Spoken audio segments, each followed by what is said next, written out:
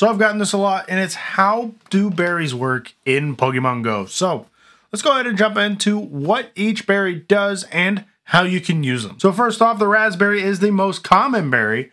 You can find it in research tasks, field research tasks, just simply spinning Pokestops to go ahead and events and tickets to just your buddy will bring it to you if it does have a high enough friendship level. What it does is actually gives you a better chance to catch the Pokemon that you're wanting to catch. What that means is typically if you do need to catch something that's more of a rare on the side, you would throw a Great Ball or an Ultra Ball to go ahead and help you catch it. Now, if you do use a Razz Berry, you do heighten your chance, so you may not have to use that Ultra Ball or the Great Ball to go ahead and catch Pokemon that, you know, you typically would. You can go ahead and use a Pokeball and save your special balls yet also gives you a better chance to catch. Next up is the Nanab berry. This is a berry that I honestly just delete every time I get it. I don't use it.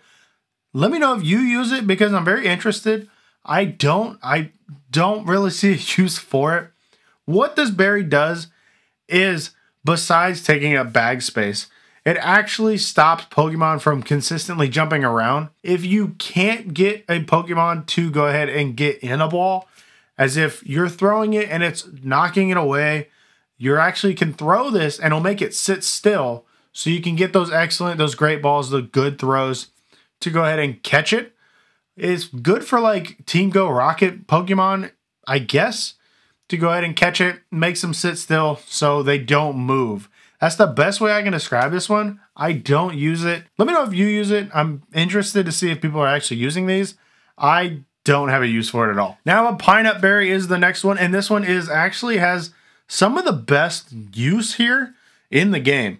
In all honesty, the pinap berry gives you more candy per Pokemon. So if you throw a pinap berry at it, it actually goes ahead and gives you more candy for it, which is huge because if you do one need to get candy to go ahead and do that evolution, i.e., maybe a Timburr on Comm Day like we had, just to Conkeldurr. So you need a full evolution line. Was it like 225, 250. That's a lot. Not a lot show up in the wild. So on a calm day, you want to stack up on those candies. Well, you throw a pinap berry at it, it gives you double candy, which is amazing. No, like that's amazing. But also, there's actually a little thing you can do. Back in the day, Pidgey was like the go-to XP candy gain Pokemon. So what you would do is you actually just throw these at it, get a bunch of candies, so then you can do a bunch of evolutions. Whatever Pokemon's common around you, you can actually go ahead and use pinap berries to go ahead and just rack up candies for it. And then pop a lucky egg and then just mass evolve them. Since you have so much candy, you're just going to keep getting evolution XP, which is amazing. You're not going to run out of candies. Best way to use it here, honestly, best berry to go ahead and use to level up and uh, power up your Pokemon because just candy gains are immense with this. You're just flooding with it. Now there is a silver pinap berry, which is more on the rare side, only coming in like special events, special quests. A little bit harder to get. Honestly, it's the rarest berry that I have. I don't have a lot of these, but the silver pinap berry is something you kind of want to throw for some legendaries, for Pokemon that are harder to catch, yet also give you like maybe they're hard to catch and they give you good Stardust gains, something like that. Maybe a rare costume Pokemon if it is shiny but a silver pinap berry will give you a combination of a razz berry. So the standard razz berry gives you a better catch rate and a pinap berry, so giving you more candy. It is rarer, but it does go ahead and double as two berries instead of one, giving you a better catch rate and giving you more candy gains. So definitely don't overlook that one. You can use it in some legendaries if you want to get some candies but there is sometimes a better berry to use in those legendaries. Now, the golden razz berry is the top candy, essentially, or the top berry, because it does give you a better catch rate. Unlike the razz berry, the golden razz berry is essentially a double that. So if a razz berry, so if a typical catch rate is a one time, so standard, a razz berry will give you a 1.5 times. Now, what that means is you got a half a times chance to go ahead and catch it better. Now, a golden razz berry is essentially a two times catch. So a golden razz berry is actually just going to give it give you a better catch rate no matter what than any other berry. High use for these is against the legendaries. you take down a legendary or a mega or a mythical, go ahead, throw one of these at it. It's going to help you catch the Pokemon even easier and not have to worry about am I going to catch it? Am I going to run out of Pokeballs? What's going on? It'll give you the best catch rate possible. Now, will you catch it? That's still up to the game to decide, but you do go ahead and better your odds of being able to catch it when you do use this berry. Now, that's not all what berries are for, is catching and go ahead and give you more candies. The best things to go ahead and use them for as well, outside of just simply catching Pokemon, is defending gyms.